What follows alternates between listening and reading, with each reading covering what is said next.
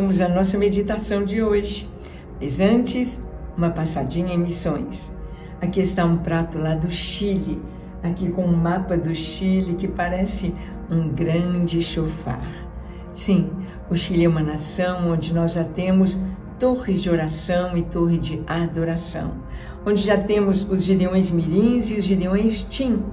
E o nosso coordenador no Chile já foi ao Peru dirigir um, um congresso lá neste ano de 2023 e está indo ao Equador para implantar as torres de oração e os Gideões Mirins ali no Equador.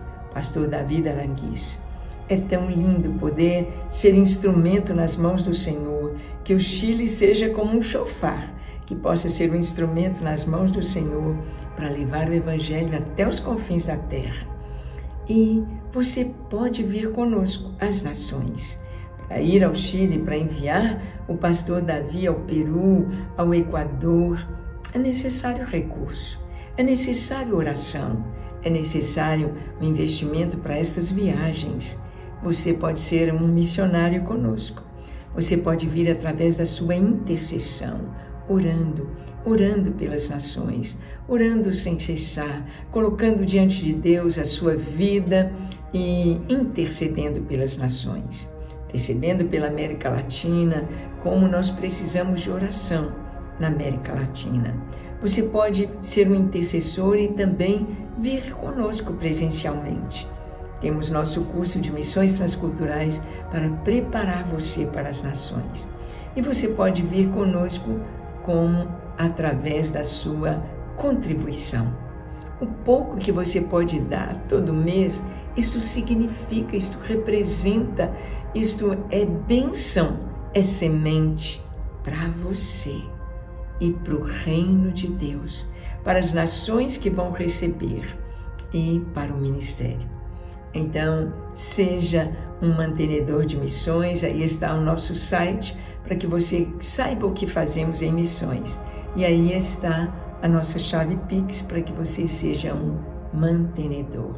Faça isso.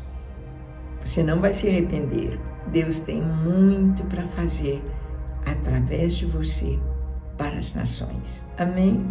Vamos então à nossa meditação de hoje, cujo título é Até a Criança, baseada em Provérbios capítulo 20, verso 11. Provérbios 20, 11, até a criança. Vamos ver o que diz? Até a criança se dá a conhecer pelas suas ações, se o que faz é puro e reto. Vamos ler de novo. Até a criança se dá a conhecer pelas suas ações, se o que faz é puro e reto. A palavra de Deus está nos dizendo que nós já nascemos com uma propensão, com uma índole. Tem crianças que já têm uma índole má Crianças que puxam o cabelo dos outros, é, que batem, que mordem, são más. São crianças que já têm uma índole para as coisas más. Tem criança que desde pequenininha é meiga, é doce, é obediente, é amável. Tem criança que desde pequenininha mostra que ela tem muita inteligência, muita capacidade para aprender, para entender, para contribuir para a humanidade. Aqui a Escritura está dizendo isso. Muito antes de surgir a psicologia, os estudos da psicologia, o Senhor já nos dizia: até a criança se dá a conhecer pelas suas ações, se o que faz é puro e reto até a criança vai revelar o seu coração através das suas ações. Ações. Aquilo que a gente faz é produto daquilo que a gente pensa, daquilo que ocupa o nosso pensamento, daquilo que a gente ouve, daquilo que entra em nós através dos nossos ouvidos, daquilo que a gente fala constantemente, há tanto poder nas nossas palavras.